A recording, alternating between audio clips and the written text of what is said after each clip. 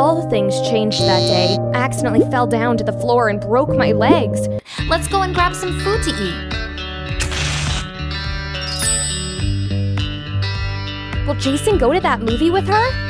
I should go to the cinema tonight. Putting on some makeup definitely made my day better.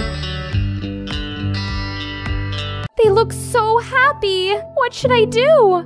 Cheerleaders Revenge 2 Heartbreak Love Story.